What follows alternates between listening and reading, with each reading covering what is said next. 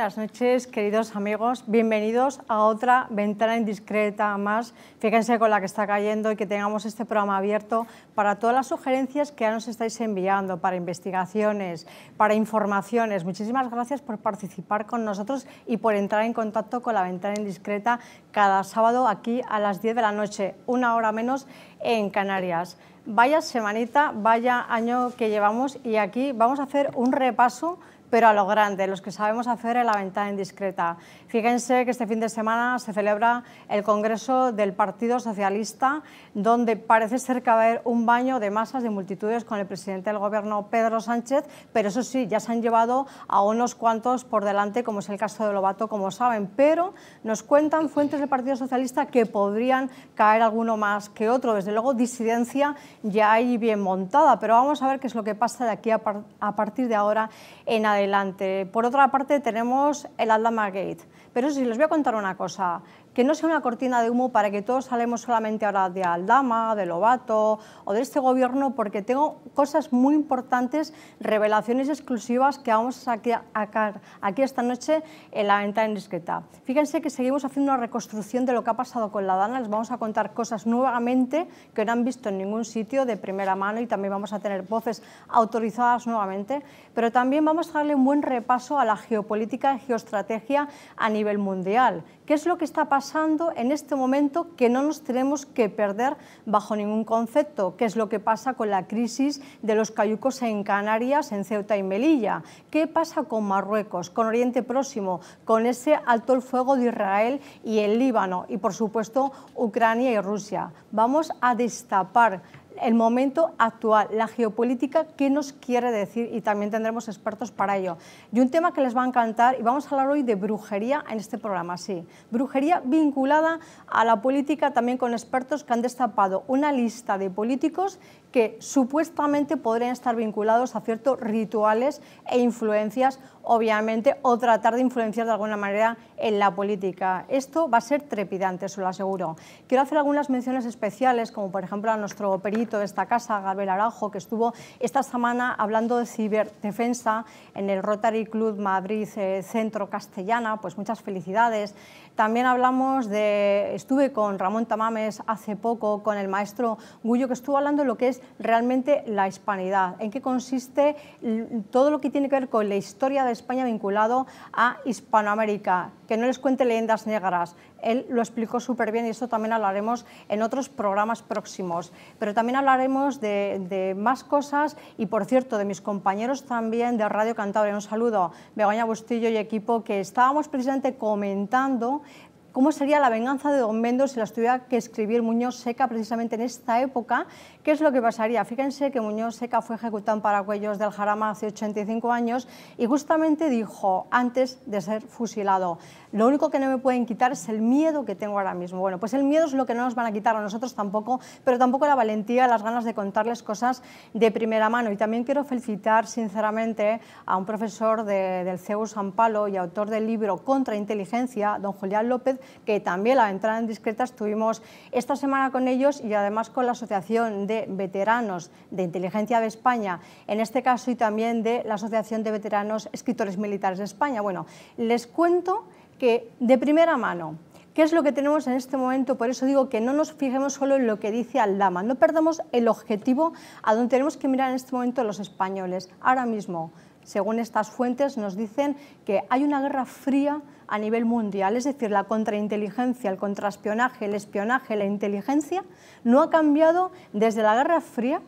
de los años 60, no ha cambiado para nada, fíjense lo que estoy diciendo, en el momento actual, 2024, ahora mismo el mundo vive una guerra fría, según estos expertos en inteligencia, y desde luego las Canarias forman un papel clave en este mapa geopolítico y estratégico que también esta noche vamos a analizar con todos vosotros. Bueno, pues quédense, agárrense, abrísense los cinturones de esta ventana indiscreta, porque lo que les vamos a contar esta noche no lo han visto en ningún sitio, se lo puedo asegurar. Y ya saben, recuerden, somos el azote de los corruptos.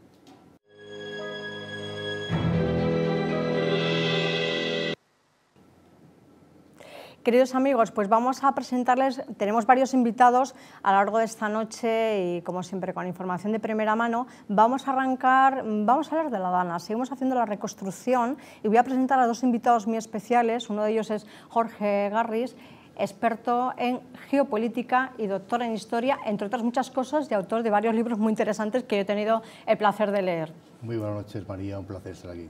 Igualmente, y tenemos también José María Bueno, abogado, con el que también vamos a hacer un análisis de la actualidad exhaustivo. Bienvenido a La Ventana Indiscreta. Muchas gracias por invitarnos.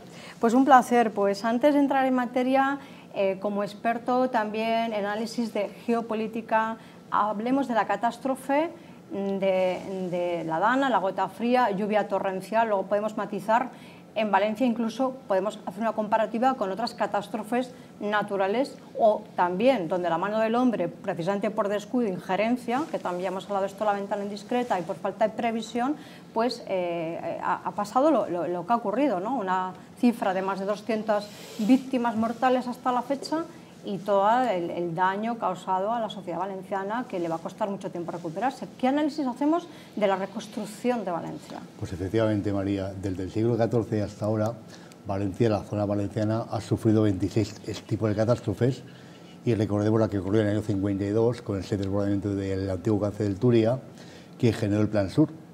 El Plan Sur con el nuevo cauce del Turia que yo observaba, miraba y cuando lo veía y lo estudiaba decía, madre mía, cómo han calculado, cómo han mayorado, pues efectivamente ahora se ha visto de que era muy necesario. Allá desde el punto de vista técnico, pues para reconstruir toda esa catástrofe, para empezar hace falta una gran planificación centralizada, con un mando único como está haciendo, y una ejecución descentralizada. Y por supuesto, en función de cálculos, hace falta un gran, un gran aporte, no solamente material y humano, sino de económico, un gran aporte económico. Porque hay que trabajar, por una parte, en el terreno de las infraestructuras, la reconstrucción de la vías de comunicación, las carreteras, los caminos, las autovías, las tajeas, los ferrocarriles, los puentes destruidos y reconstruirlos. Y aparte de eso también hay que hacer estudiar el metro y también lo que son los, la reconstrucción por parte de eh, liberar todo lo que es la chatarra, los residuos orgánicos y materiales. Hay que hacer centro de acogida de recursos materiales, como son las chatarras de los, coches, de los enseres, de lo que haya, y aparte también de los eh, recursos orgánicos animales muertos, desgraciadamente personas que pueden ir apareciendo o que aparezcan fallecidas, ahogadas y demás, o aplastadas. Y todo esto requiere un trabajo ingente de máquinas de movimiento de tierras que poco a poco se hace. Pero también el tema del alcantarillado, de los recursos sanitarios, porque es fundamental, porque ahora mismo Valencia es un foco de enfermedades, ¿no? Es un foco de enfermedades porque están rotas todas las, las vías de aguas eh, sucias y demás, y hace falta una gran labor de, sanitaria. Aparte de ello, pues repito, a caballo de todo esto, hará falta también un nuevo plan urbanístico, porque lógicamente Valencia, o quien sea el encargado del mando único en coordinación con el mando político, deberá prever cómo reconstruye Valencia, qué zonas las reconstruye exactamente igual o qué zonas las quiere modificar en función de la experiencia que hemos tenido tan, tan desastrosa. Pues muchas gracias. Luego vamos a ver con Jorge Garris porque vamos a abrir también en el Rincón del Espía qué es lo que sucede con la geopolítica, geoestrategia a nivel mundial y les aseguro que les vamos a contar cosas también inauditas donde Canarias es parte del protagonista de nuestro programa de hoy con todo el conflicto con Marruecos y otro tipo de conflictos internacionales. Luego hablamos de eso. Vamos a seguir con la Dana. Tenemos varios invitados, si te parece, eh, José María, vamos a darle paso a Susana Pastor. Ella es presidenta de ADC y danificada por la Dana. Ella lo vivió de primera mano, esta gota fría o esta lluvia torrencial en Torrent. Buenas noches, Susana, ¿cómo estás?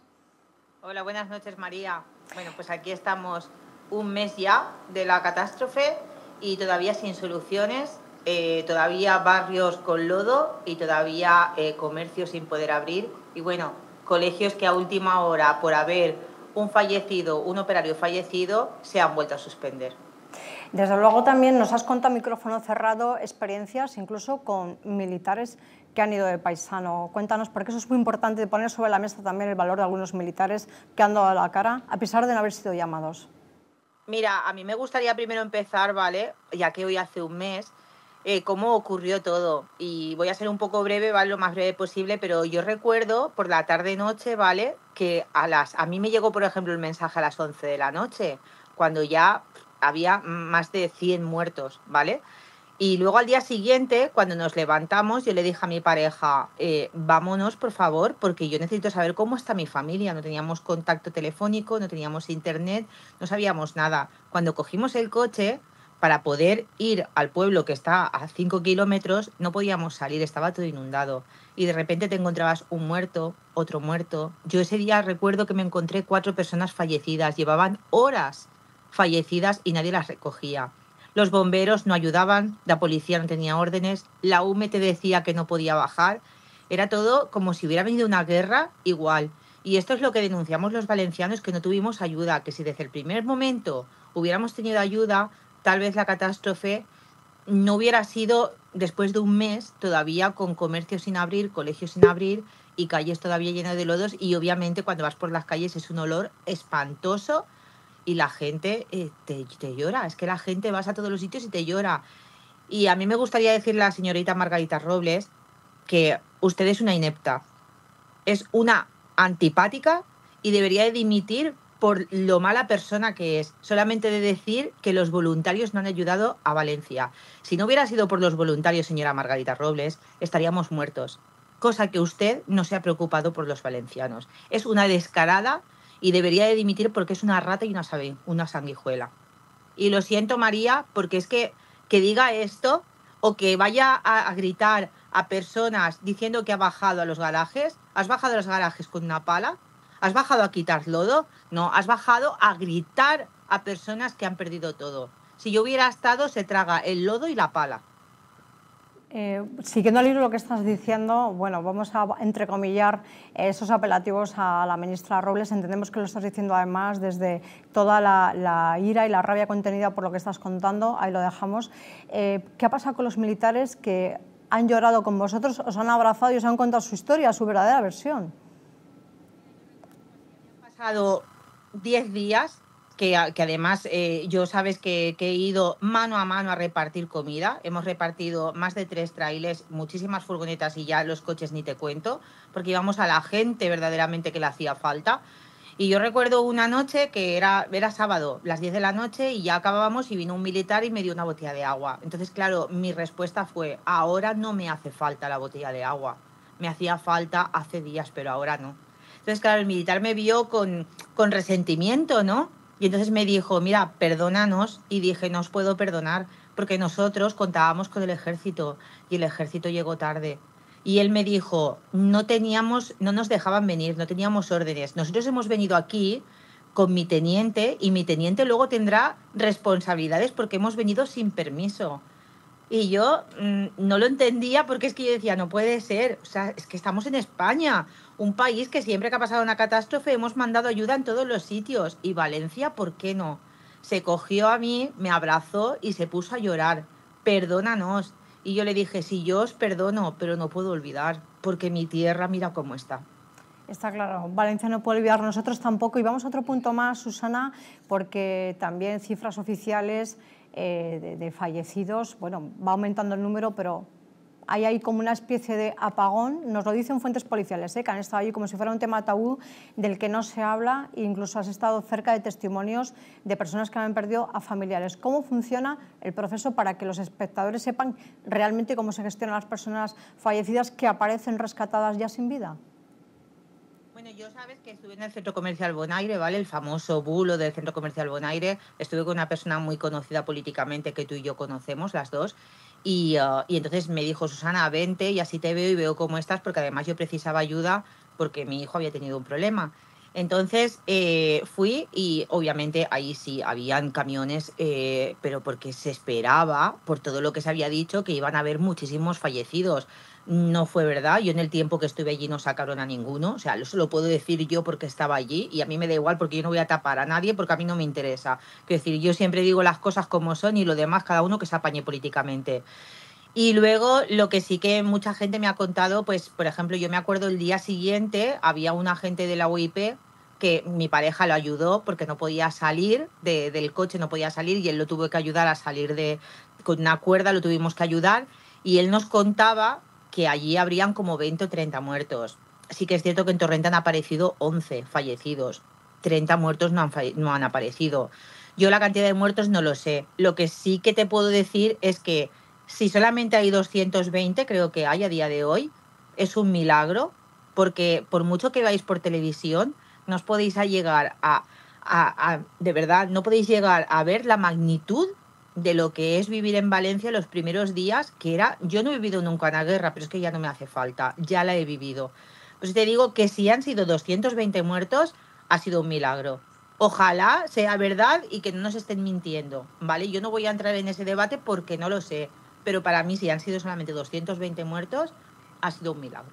Nos vamos a quedar con eso, Susana Pastor. Muchísimas gracias por contarnos una vez más lo que está pasando en Valencia y sobre todo abrazos a los valencianos que os llevamos en el corazón. Y aquí vais a tener voz en la ventana indiscreta hasta el final con lo que esté pasando. Muchas gracias. Buenas noches. Me gustaría decir, María, una cosa. Eh, Mazón, has dicho que ya han llegado ayudas a los familiares. Yo todavía veo a familiares que están llorando, que no tienen lavadora, ni nevera, ni una cama para dormir. ¿Dónde están las ayudas? Buena pregunta, Susana Pastor. ¿Dónde están las ayudas? Buenas noches. Ahora vamos a debatir sobre esto precisamente. Gracias. Pues ¿dónde están las ayudas? Porque además que sepamos, cero euros de los fondos que destina Pedro Sánchez a la reconstrucción, que sepamos ciudadanos, cero euros han recibido y muy pocos fondos, como dice Susana Pastor, creo que un 4% nada más de las ayudas destinadas por la Generalitat han llegado a los ciudadanos. Sí, lo que pasa que antes yo lo que plantearía es por qué llegó tan tarde la ayuda que eso es otra, porque aquí ha habido una polémica, eh, cosa inexplicable, que no hubiera pasado en ningún país de Europa, entre el gobierno central y el gobierno regional. Ha habido un gran debate sobre quién es el responsable y quién tenía que haber enviado la ayuda, etcétera, etcétera. Y obviamente esto está claro, si no coge la normativa, al margen de que tenemos una normativa muy, muy deficiente, que eso siempre lo denuncia Felipe González, los riesgos de, como él dice, la centrifugación del poder, que realmente ya empieza a existir a nivel normativo, porque tenemos normas que no llegan a coordinar y no llegan a, conectarse correctamente y por tanto se presta la interpretación sobre quién puede ser el máximo responsable, pero hay una cosa clara, la ley 2 85 de protección civil establece que el máximo responsable en cualquier situación grave de protección civil es el ministro interior. El ministro interior debe inmediatamente actuar con las fuerzas y cuerpos de seguridad del Estado. Y es más, es que incluso el mismo articulado de esta ley nos dice que, a su vez, debe incluso eh, exigir la colaboración de la ministra, en este caso de Defensa, el Ministerio de Defensa, movilizando incluso la UME.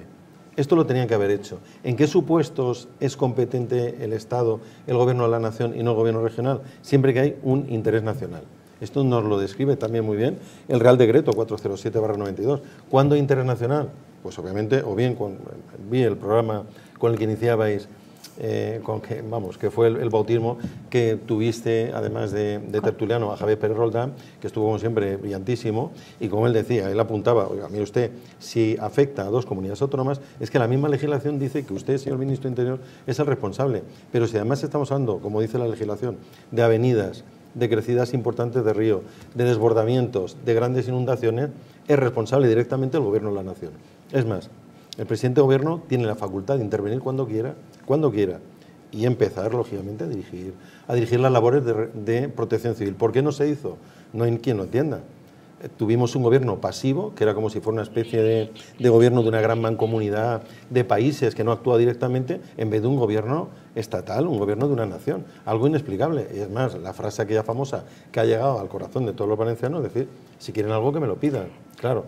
Y por tanto tenemos que distinguir responsabilidad jurídica, yo sí que la centro en el gobierno de España. Después responsabilidad política y mucha más, porque obviamente la comida de Amazon, eso es inexplicable. Eso no lo apoya absolutamente nadie, excepto Feijo, que creo que va a ser, desde luego, su gran error, el gran error de su, de su liderazgo va a ser precisamente ese apoyo a Amazon. Pero en todo caso, Amazon se equivocó, no estuvo a la altura. El gobierno valenciano, por supuesto, no estuvo a la altura. La, con, la consellera que ha tenido que dimitir, bueno, pues fue patética su intervención. Sí, bueno, cesada, perdón, cesada, sí, sí. Eh, ah, fue, eh, sí, buena corrección. Fue realmente patético, pero en todo caso, quien tenía que haber intervenido es el ejército, que para eso lo tenemos. Vamos a hablar de eso ahora. Vamos a nuestro siguiente invitado. Ángel San José, bombero de Valencia y además es el portavoz de la plataforma para Bomberos Unificado. Eh, vamos a hablar con él directamente desde Valencia porque nos va a contar la última hora cómo están las cosas. Buenas noches, ¿cómo estás? Hola, buenas noches. ¿Qué tal? ¿Cómo estáis en Valencia? Cuéntanos, porque sabemos que estáis trabajando muchísimo para ayudar a los ciudadanos. Sí, claro, eh, aquí se sigue trabajando en una gran emergencia. Eh, van cambiando las necesidades y, por lo tanto, las fases de la emergencia van cambiando. Y lo que se necesitaba el día 29 de octubre no es lo que necesita el día 29 de noviembre, ¿no? Entonces, ahora mismo las tareas están centradas en ayudar a los vecinos en la todo, el desatasco de colectores y retirada de ese lodo, reparación, que ya bien no es, una, es un trabajo más técnico, más específico, hace falta eh, pues fontaneros y empresas que puedan retirar esos lodos y arreglar esas bajantes para que los vecinos puedan tener el servicio. Uno de los puntos clave, eh, no sabemos si vosotros como bomberos de Valencia, eh, del Consorcio de Valencia en este caso, tenéis constancia de que los alcaldes de los ayuntamientos afectados aquel día activaran el plan, el CECOPIL, porque está el plan de emergencia de los municipios, de las comunidades autónomas y del gobierno, por supuesto. ¿Creéis que algún alcalde cayó en cuenta en activar este plan de emergencias?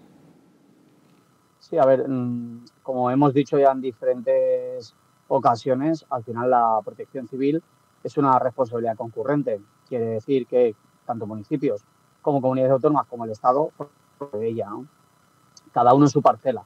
Entonces, la responsabilidad que tienen los municipios en este caso es que deben de tener el plan de actuación municipal, el plan municipal de inundaciones en caso de que su municipio esté en riesgo y nosotros hicimos una búsqueda de los municipios zona cero, que se llama, que son 16 municipios, en los cuales encontramos que había municipios que no, no encontramos, mejor dicho, los planes. No sé si no lo han hecho o es que no lo han publicado, pero hay municipios que no hemos podido encontrar ni el plan municipal ni el plan especial municipal de inundaciones, cuando sí tienen la obligación de tenerlo porque están, según el plan especial de inundaciones de la comunidad autónoma, están en riesgo medio o alto. Algo también que nos llegó aquí ¿no? al corazón en la ventana indiscreta con tu intervención anterior es que si se hubieran organizado las cosas mejor, tuvierais más dotaciones, más equipos, más personal, se habrían podido salvar vidas. Claro, eh, el tema de seguridad, ¿no? El tema de seguridad, los primeros que tenemos que tener seguridad somos los intervinientes. Entonces, yo como ejemplo siempre pongo que en mi servicio, el consorcio de bomberos, de una plantilla operativa de 760 personas, nos faltan 250 una tercera parte de la plantilla. Eh, luego, aparte, mm, seguridad, EPIs. EPIs, falta de EPIs y, eh, mm, bueno, mm, calidad eh, dudosa de algunos de ellos. Luego, equipos de intervención, lo mismo, motobombas, electrobombas. Y luego, vehículos, falta de vehículos. Entonces, al final, se puede afrontar una emergencia o una gran emergencia con personal y con, y con equipos preparados. Pero sin ellos pues es peor todavía. Pero como nosotros, en el Consejo de Valencia, hay muchos servicios a nivel nacional. Es decir, hacer una fiscalización de cómo está cada servicio, porque el Consejo de Castellón está incluso peor que nosotros, Ayuntamiento de Castellón está también a falta de mucho más personal incluso que nosotros.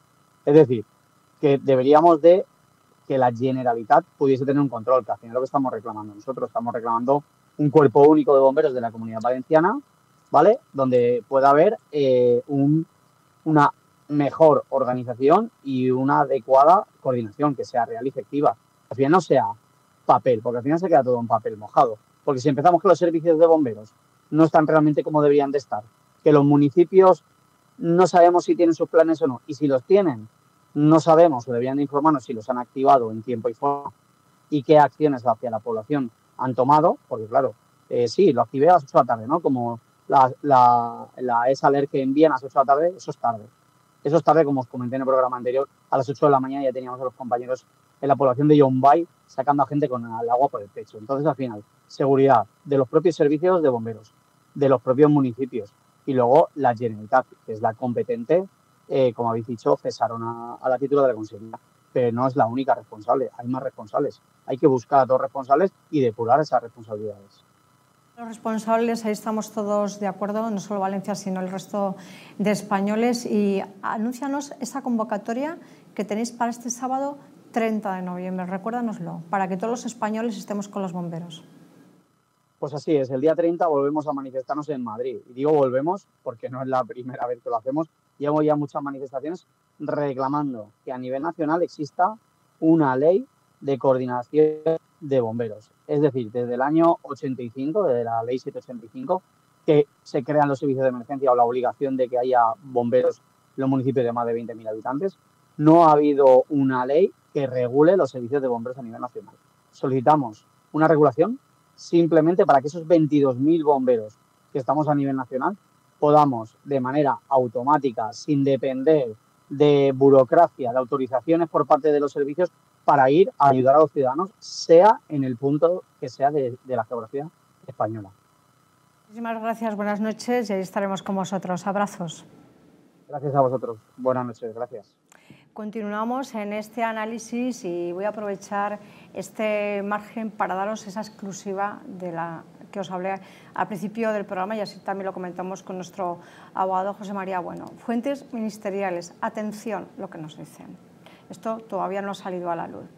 Aquel día 29 de octubre del 2024, aquel día donde mucha gente perdió la vida, lo que nos cuentan fuentes ministeriales de primera mano es que realmente la presa de Forata estaba abierta, atención, desde primera hora de la mañana, desde las 8 de la mañana. ¿Por qué? Porque los que trabajan en la Confederación Geográfica del Júcar, igual que el Ministerio de Transición de la señora Rivera, que ahora ya no está allí para dar la cara, y todo el equipo, todo el equipo de ese ministerio tenían conocimiento de que iba a haber una gota fría, una dana, como lo queramos eh, nombrar. ¿Qué sucede? Que como ya había un aviso previo de días anteriores y además así se ha manifestado públicamente, se estaba preparado. Había una alerta y había un miedo de que esas lluvias torrenciales de aquel día, que se conjugaron unas cuantas a la vez, como muy bien han explicado los bomberos en este programa, pues hubiera un problema con la presa de Forata. Por lo tanto, según nos dicen fuentes ministeriales, estuvo abierta desde primera hora de la mañana. No se abría, se cerraba, ni se abría, ni se cerraba, ni se desahogaba. No, estuvo abierta precisamente para tratar de paliar que no hubiera víctimas mortales. Es más, fuentes consultadas ministeriales nos dicen que si la presa hubiera estado cerrada todo el tiempo, hubiera sido peor todavía y hubiera habido un riesgo mayor de personas que podrían haber llegado a perder la vida. Eso por una parte. Por otra parte, hay unas casetas que tienen unos sensores que lo que hacen es registrar los movimientos de agua. Es decir, había una alerta desde por la mañana. ¿Dónde estaba el foco puesto? Por una parte en Utiel y por otra parte, como explican los bomberos, en Bay, que también ya 8 o 9 de la mañana estaban ayudando a la gente porque estaban con el agua hasta el cuello. ¿Recuerdan? Bien, ¿qué es lo que sucede? Que a lo largo del día la presa está abierta todo el tiempo y esta presa desemboca en el río Magro. El río Magro se empieza a desbordar y llega al Júcar, porque es un afluente del Júcar, y el Júcar ya llega al famoso Barranco del Pollo, creando toda la desolación que hemos visto que hay. Es decir, esas casetas quedan desbordadas, esos seis metros quedan totalmente cubiertos eh, por, esta, por esta lluvia torrencial y por esa presa que está abierta y a las 3 de la tarde ya era difícil saber qué estaba pasando, pero a las 6 de la tarde, con estos sensores ya barridos literalmente por el agua, era prácticamente imposible realmente tener los marcadores al día. Esto es lo que nos cuentan fuentes ministeriales que pasó. ¿De acuerdo? Entonces, eh, eh, la reconstrucción ahora de estos sensores, a ver qué, material nos ponen o, cómo se hace esta reconstrucción, pero fíjense que realmente estas fuentes ministeriales nos dicen que las alertas son automáticas, es decir, aquella mañana ya se alerta al Ministerio de Transición Ecológica, se alerta desde por la mañana, fíjense que la delegada del Gobierno supuestamente de una serie de llamadas a las 12 del mediodía, o esto es lo que ha trascendido, habría que ver qué dice la delegada del Gobierno cuando vea este programa y la exministra Teresa Rivera, pero fíjense que nos cuentan de primera mano que se van haciendo llamadas a lo largo de la mañana, que la Confederación Hidrográfica del Júcar cumplió debidamente su papel, avisó con las alertas automáticas que tiene debidamente ¿eh? y que a las 2 de la tarde ya están avisados Ministerio del Interior, Ministerio de Transición Ecológica, por supuesto, porque es el primero que tienen que avisar al que se debe, y también la Comunidad Valenciana. De ahí que se activará el CECOPI también de la Comunidad Valenciana. Entonces, señores del Gobierno de Pedro Sánchez, ¿quieren explicar realmente lo que sucedió aquella mañana del 29 de octubre con la presa, con los marcadores, con las alertas, con los correos electrónicos? ¿Quieren explicar realmente a qué hora y por qué se pone en contacto con la Generalitat Valenciana y qué pasó con los alcaldes de los municipios afectados? Y si se podía haber evitado todo este desastre, eh, no solamente con víctimas mortales, sino ecológico y de destrucción de campos, de ciudades, de pueblos, como estamos viendo. Bien, ahí lo dejamos. Pues esto es lo que, lo que destapamos hoy a la ventana indiscreta y claro, esto, eh, eh, si los funcionarios de la Confederación Hidrográfica, del Ministerio de Transición Ecológica, del propio Gobierno, de los ministerios que debían de estar en contacto, y alertar con la diligencia debida, esto es una patata caliente para el gobierno de Pedro Sánchez. Bueno, es una negligencia. Aparte de todo, que jurídicamente, eh, desde el punto de vista jurídico, es una negligencia. Y por tanto, claro, eh, ellos tenían que haber actuado desde el momento cero como gobierno, porque una de las funciones del gobierno es garantizar la seguridad de los ciudadanos que viven en el mismo país. Pero además hay una cosa, aquí tenemos que distinguir mm, los, digamos, la disfunción política que se ha producido, es decir, tenemos un país que no funciona, eh, con una descentralización que ha sido un desastre, que son las comunidades autónomas. Las comunidades autónomas son un auténtico engendro político que está demostrando que no funciona, porque nadie tiene la sensación de ser el máximo responsable.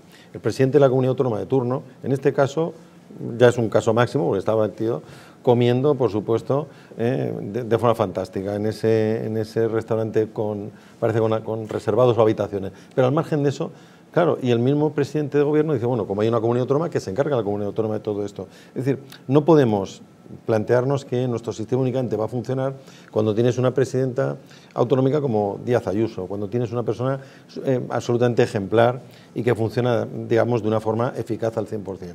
Porque esto no ocurre todos los días. Es decir, tenemos presidentes de todo, de todo nivel. Tenemos a Isabel Díaz Ayuso, pero también tenemos a Carlos Mazones por ahí.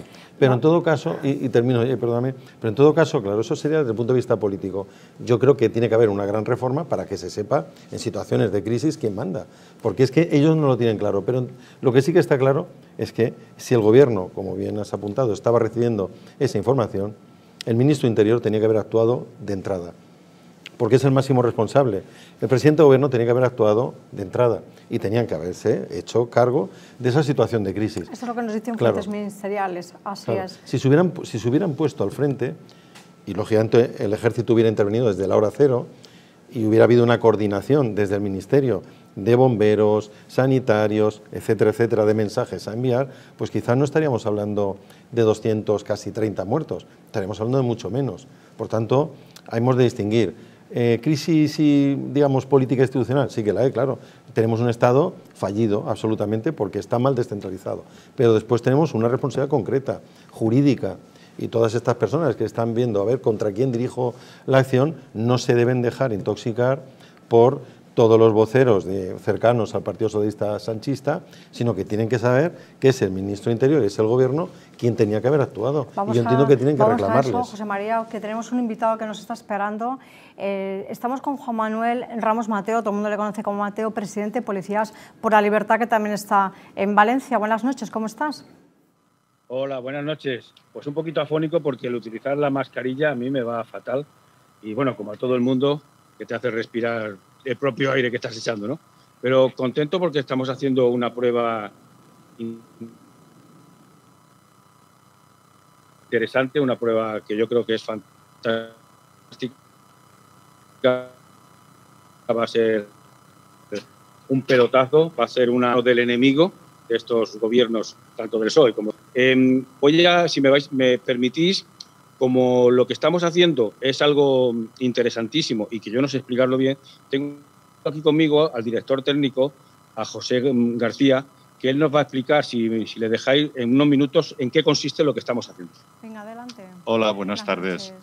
Hemos realizado un tratamiento de bioremediación utilizando bacterias que ya están testadas hace tiempo por la universidad y que dio menos de una unidad tóxica. Por lo tanto, es no tóxico para el ecosistema donde se aplique ni para los operarios que lo manipulan. Lo que hace este grupo de bacterias entrenadas es aplicarlo sobre una zona donde haya carga orgánica y cuanto más carga orgánica mejor, que lo que hace es desplazar por competencia de pH con las bacterias, por ejemplo, las sulfatos reductoras que producen olor a huevos podridos, pero también desplazan a las patógenas porque eh, coloquialmente, les quitan el alimento de la La multiplicación de nuestro cultivo es tan rápida y veloz que evita el desarrollo de las contrincantes patógenas. Lo primero que aparece como eh, efecto de los olores, ya hicimos este tratamiento en el puerto de Valencia, en la desembocadura del río Turia, y funcionó maravillosamente en el 2007 creo que fue.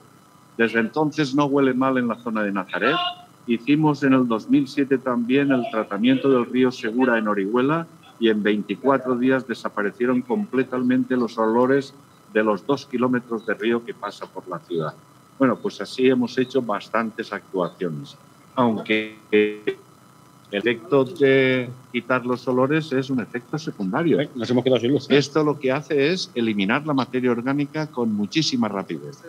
Ojo, también donde se deposita este tratamiento impide el desarrollo de los moscas y mosquitos en la fase acuosa, sobre todo, muy importante en este momento donde se lleven los lodos que se saquen de los distintos garajes y se acumulen. Con lo que yo recomiendo que se lo piensen y estudien a ver si les puede interesar desinfectar y evitar la proliferación de mosquitos porque ya lo tenemos Mosquitos, testado.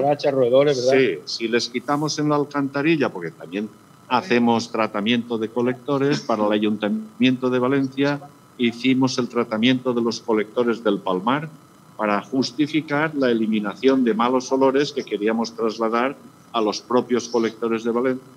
Pues muchísimas gracias. Muy bien, pues como ves... Muchas esto gracias, está muy desde bien, el 2007, desde el Mateo. 2007. que el- Como, te- como tenéis una que Desde el conexión... 2007 esto lo sabe el gobierno, Sí. lo sabe la Generalitat, lo saben los ayuntamientos. ¿Por qué lo tenemos que hacer nosotros cuando son ellos los que lo tienen que hacer y están dejando abandonado a su pueblo? Esa es una buena pregunta, Mateo, y además cuéntanos, habéis puesto recientemente una denuncia también, ¿no? Si Se nos corta la conexión. Bueno, nos vamos a quedar con eso, pues sí. Parece ser que han denunciado a algún cargo de la UME. Ya lo explicará mejor Mateo con sus palabras desde Policía por la Libertad, pero también ha habido una denuncia contra algún mando de la UME. Ahí lo dejamos. Pues nos vamos a ir a publicidad. Seguimos siendo el azote de los corruptos, ya lo sabéis, pero volvemos enseguida porque vamos a abrir unos superbloques de información, como siempre, en exclusiva. Ahora volvemos.